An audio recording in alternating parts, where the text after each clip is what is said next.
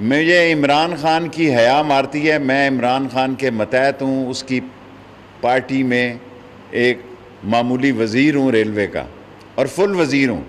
अगर किसी ने मेरी ताकत का अंदाज़ा करना है तो अल्लाह की दी हुई ताकत के बाद मैं परसों ये ट्रेनें चला सकता हूँ। मैं गरीब को इस तरह सिसकते हुए और तबाह बर्बाद होते हुए नहीं देख सकता। और मैं रेलवे को ये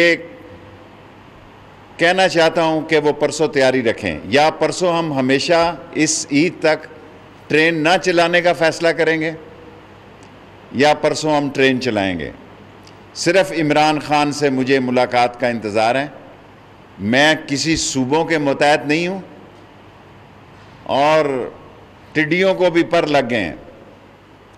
और अफसोस है कि लोगों को अंदाज़ा नहीं है कि कोरोना वायरस जो है मेरे साथ सारा मीडिया चले जी, अभी आप चलें। अगर आप मुझे साबित कर दें कि एक भी दुकान, मैं पहले कहता था कि शटर पहले खोलो।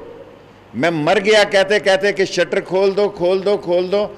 इन्होंने उस वक्त खोले जब लोग तंग आ चुके थे। पचास फ़ीसद लोग ईद पे शॉपिंग करते हैं। पचास फ़ीसद बिज़नेस जो है, वो ईद पे चलता है। पचास फ़ीसद दीनी मदरसों का जो खर्चा है, वो बेचार रमज़ान में मिलता है। आपने हर एक को उस वक्त इजाज़त दी है जिस वक्त वो आखिर पे आ चुके थे। कोई डीजल की बहुत कम हो गई है, लेकिन हम 50 और 60 फ़ीसद पर जा रहे हैं। इंडिया ने तो दुगनी टिकट की है। हम टिकट उतनी रख रहे हैं, कोई इजाफा नहीं कर रहे हैं, लेकिन हमें ये नुकसान, मैं रोज़े से आपको कह रहा हूँ कि हम नुकसान पे ट्रेन चलाने जा रहे हैं। हमारा साढ़े पाँच अरब रुपए का खसारा है महीने का इन दिनों में। सवा तीन अरब रुपया हमारा पेंशन है, दो अरब रुपया हमारी तनख्वाह है। खसारे में ये ट्रेन चलाने जा रहे हैं। इसलिए चलाना जा रहे हैं कि इन लोगों को एहसास नहीं है कि ये गरीब की सवारी है। बहुत दिनों से लोग अपने रिश्तेदारों के रह रहे हैं, वो लोग भी तंग पड़ गए हैं। उनके माली हालात इतने नहीं हैं कि एक साहब हाल, एक खुशहाल फैमिली का फ़र्द इतनी जल्दी तक, इतनी देर तक लोगों को रख सके। वरना मेरा क्या है? मैं बुध वाले दिन फैसला कर दूँगा जी कि ट्रेन चलनी है कि नहीं चलनी, शायद मंगल को ही कर दूँ। सॉरी सवार को कर दूँ। मंगल वाले दिन मैं फ़ैसला अल्लाह के हुक्म से, इमरान खान से रबते के बाद मैं कल भी ये फ़ैसला कर सकता हूँ कि मंगल या बुध को चल सकती है। सिर्फ़ मैं चाहता हूँ कि इमरान खान से मेरी बात हो जाए। हमारे पास 23.2 करोड़ रुपीज़ लोगों ने एडवांस हमारी नबे दिन की पहले बुकिंग होती है, यानी 24 करोड़ रुपए हमारे पास जमा है। हम पंद्रह ट्रेनें अगर हमें एक बात समझने की कोशिश की जाए, अगर पंद्रह ट्रेनें ये दो तीन दिन के बाद शुरू करेंगे तो फिर ये छतों पर भी लोग होंगे। फिर मुझे ये आप ताना देंगे, फिर मैं तो नहीं चला सकता जी। फिर लोग कहेंगे, शेख रशीद ने वायरस फैला दिया। हमें ये यकीन दहानी थी कि आज हमें इजाज़त मिल जाएगी और कल हम ट्रेन चलाएँगे। हमने अपनी सारी ट्रेनों को उसी के मुताबिक तैयार किया है। अब मुझे ये अंदेशा है कि मैंने बुध का दिन फाइनल इसलिए रखा है कि मैं किसी से लड़ना नहीं चाहता। ये मरकज़ की रेलवे है इमरान खान के मतहत है। पाकिस्तान रेलवे किसी के मतहत नहीं, अल्लाह के बाद इमरान खान के मतहत है और उसके बाद मेरे मतहत है। और मैं कोई थका हुआ वज़ीर नहीं हूँ, मेरे कोई रिंग पिस्टन नहीं बैठे हुए।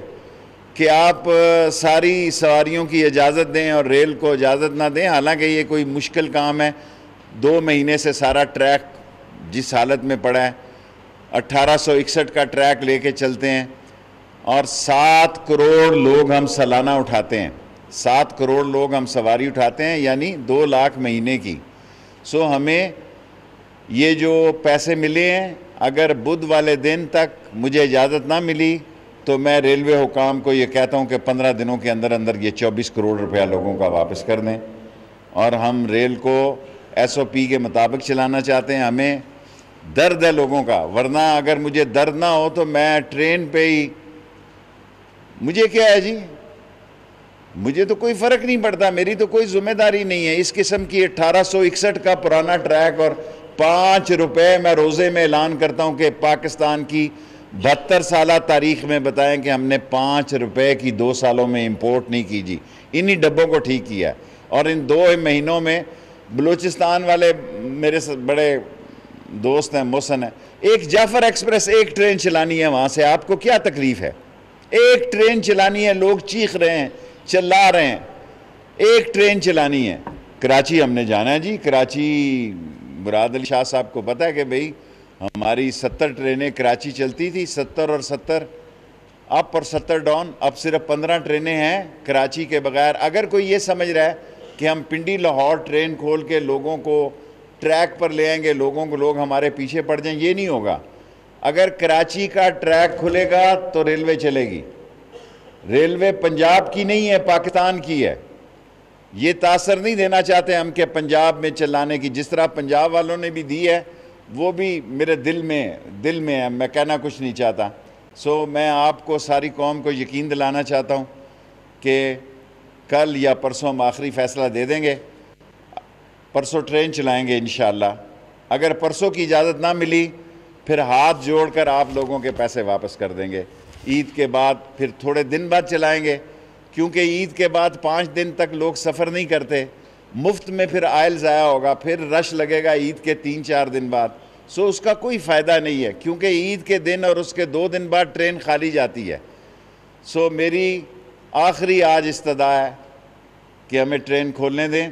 बुध के दिन हम फैसला करेंगे और मैं ख़ुद भी ये फ़ैसला कर सकता हूँ। मैं दोबारा ये कह रहा हूँ, मैं ख़ुद ट्रेन चलाने का फ़ैसला कर सकता हूँ, लेकिन इमरान खान साहब की तरफ़ से मुझे इजाज़त नहीं है। मैं उनके फ़ैसले का मुंतज़र हूँ। मैं किसी सूबे के ताबे वज़ीर नहीं हूँ। और ये सिर्फ़ पंजाब में रेल नहीं चलेगी चलेगी तो पाकिस्तान में चलेगी। Thank you very much